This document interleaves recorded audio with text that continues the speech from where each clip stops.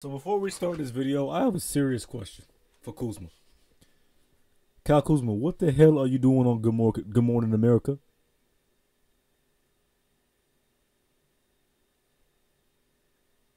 What could you possibly be on Good Morning America for? I'm not even trying to hate. Let's see. beginning shooting hoops on the court of his local YMCA in Oh, Flint, Michigan, to clinching a championship with as the shit. Lakers. Our next guest has cemented himself as one of the best front court players in all of basketball. He is So obviously, this lady does not know anything about basketball because she just said, "Kyle Kuzma."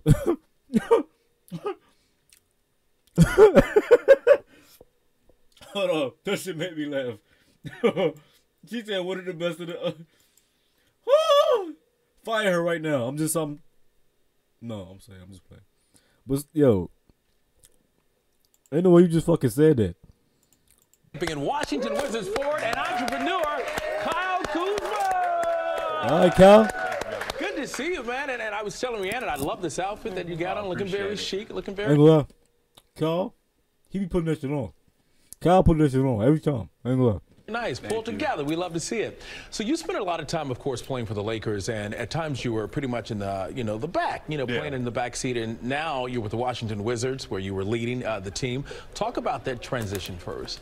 You know, it's been an unbelievable transition, you know, and, and for me, um, I was blessed and, and, and grateful to play in front of or play behind some great players. You think of LeBron James, Anthony Davis, and I really got to take a back seat, and, and I, I- don't like to call it a back seat, it's more so uh, a front row seat, and I can watch those guys and, and watch uh, their movements and how they approach the game and how they approach their profession.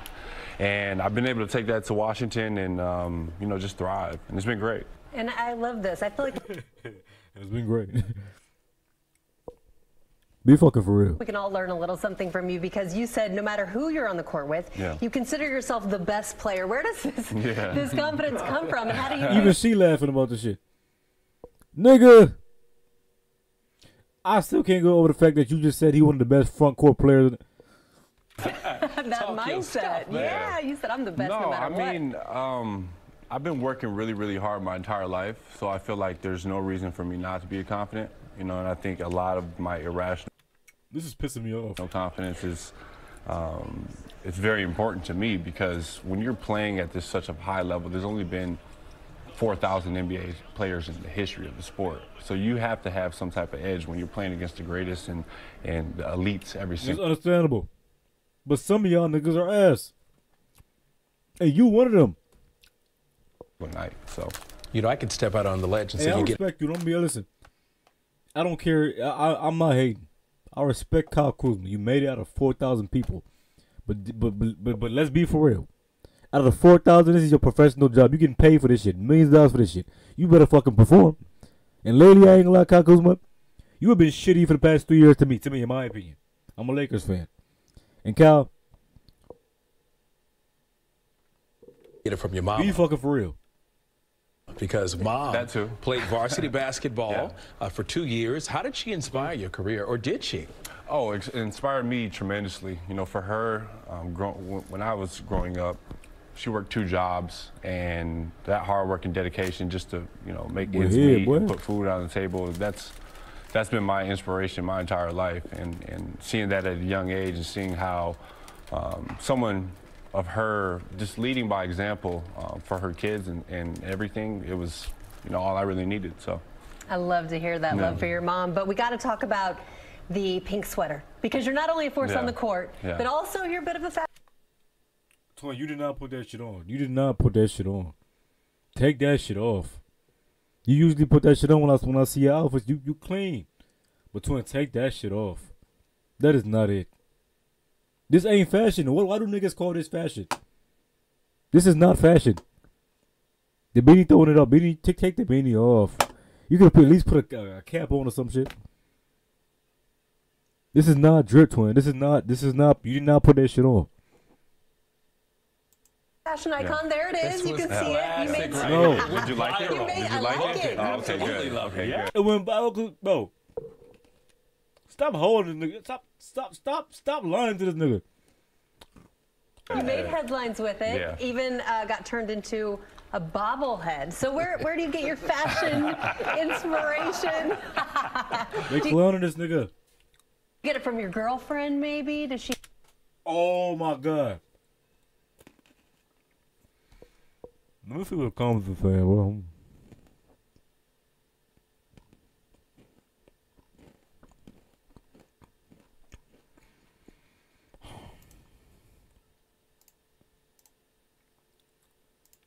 help you out, your model girlfriend? You know, everybody thinks that. You know, I think, um, you know, for me, uh, it all started when I was younger, and my great or my grandmother used to make us go to church with her. So, dressing up for church that was always a thing every Sunday, and from there, you know, I was like that that that young light skinned kid that's going to church, and everybody loves me and you know dress nice and and from there you know it's always been you know it's a first impression Speaking of your love of fashion and design, Yeah. it has led to an apparel collection, a foot collection for you, uh, entitled uh, "Childhood Dreams" and, and Puma. How do you use this collection to sort of collect, connect uh, to your roots? You talked about the church.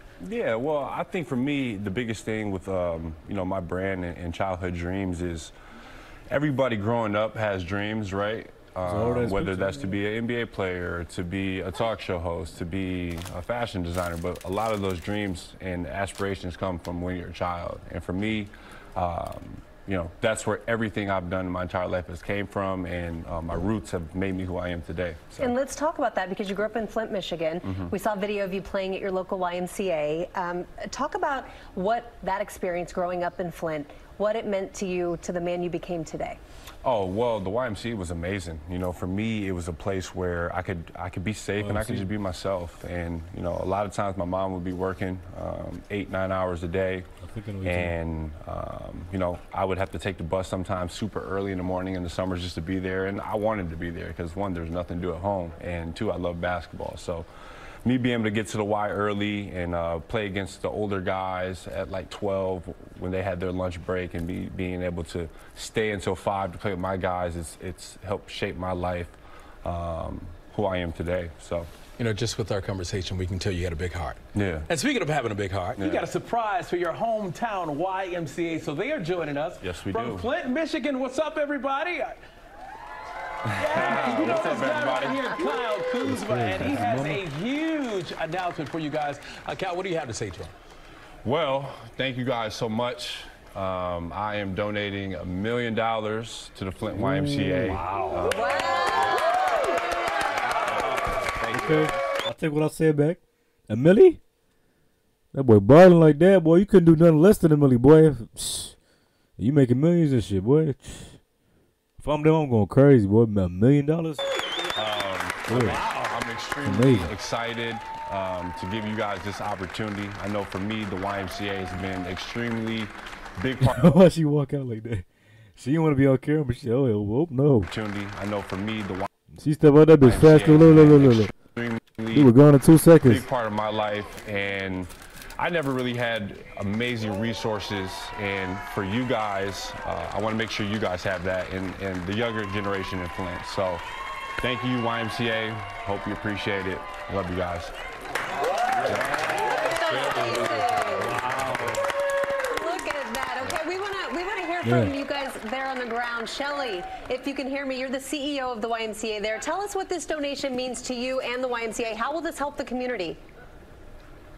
Oh my gosh, this is so special. It's so personal for the Flint YMCA. this This ain't funny. But damn, boy. They all teaching like, oh, what the fuck do we say? They all shook. The was CEO of the YMCA there. Tell us what this donation means to you and the YMCA. How will this help the community? what? Y'all see what I'm talking about? Why they stop like that? Hold on, hold on. What Yeah, is? how will this help the community? he looking at it like bitch say something. Yo, he looking at his whole like bitch say something. Nah, my nigga, hold on, hold on. Look how she looking like what the fuck you gonna say, Robert? Say some shit. Get scared of. I know they scared. I know they oh nervous. Oh my gosh, this is so oh special. gosh. It's so personal for the Flint YMCA. This gift is going to help us build a state of the Damn, that nigga crack. That, that nigga, that nigga smile ain't cracking. That nigga, he he holding on to that smile. Boy, art facility. that It's going to holding be a on to that shit. She looked mad. place for summer basketball camps. It's going to be a place for families to come recreate together for pickup games. Uh, this is just, it's extremely say exciting. So, on behalf of the staff, our volunteers, and most importantly, our members, I just want to say a huge thank you. Yes, this is really, really a big deal right here. We love to see it. And not only do we have folks from the community there, but Kyle, Kyle's mom, Carrie, is there. Carrie, hello to you. Hey, mom. Just, what does it mean to you, mom, just seeing your son giving back to his roots in such a major, major way? Um, I think it's just going to be a great thing for the community uh, and the city of Flint, um, and for the members. I think it's something that they really deserve. They've, you know, hung in there with this Y for so many years. Um, it's been needing some upgrades, so, Boy, she was nervous as fuck, boy. so this is going to be a great thing. That nigga look like, oh shit. oh, oh, I'm kind of nervous too. I ain't gonna lie. Nah, I kind of feel like the tension in the room, cause like they look like they they forced to do this shit. Were were y'all forced to do this shit? Are y'all at gunpoint right now? I'm just playing, just playing. It's just a joke.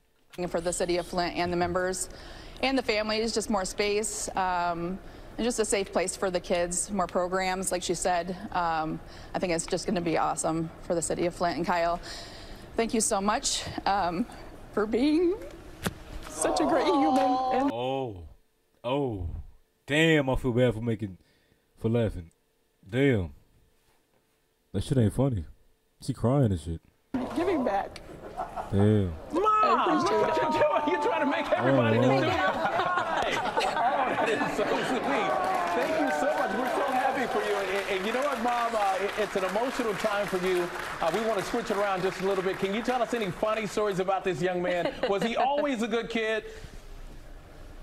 He was always a good kid, honestly. like he never, never really got in trouble.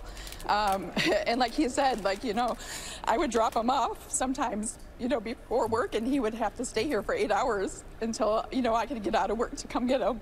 And it's, you know, it just shows the commitment that he has, and that's why he is where he is. And um, Wow, boy, that shit crazy. Ain't nothing like your mama supporting you, bro. It's just like it's different. It's a different feeling. Like it's like damn, like when your mom proud of you, it's like you know you're doing something good in life. You know you progress. You know you you are worth being born. If that makes sense. he's, I'm so proud of what he's done on the court, but more Why you trying to hate like that? What?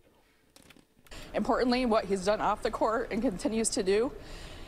And just, um, God has blessed him to be able to h- help other people in the community, and it just really means a lot to me. And guess what, Mom? We're proud of you. Hats off to you for what you did. You raised a good young man. Yes, she did. Wow. I, she's so proud of you. Wow, that was very special. What a special moment, and, and just so excited for all of them. Uh, again, thanks so much for being with us today and, and, and all that you were doing, uh, giving back to your community. It is nice to see you're setting an example for so many of us to always give back. Never forget where you came Yeah. from. Appreciate you guys so, so much. Thank you. Using your platform for Thank you. good. Thank That you. is such an inspiration, Kyle. Thank you. Yep, thank you.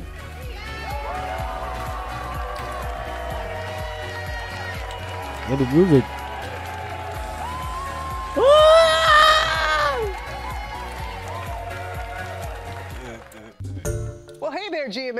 Rob I love her. Anyway, hopefully y'all enjoyed this reaction, man. Like, subscribe, comment if you're new. I love y'all. Shit, I, I never thought in my life I'd be saying this shit. Shout out Cal Kuzma, man. Shit. That shit crazy.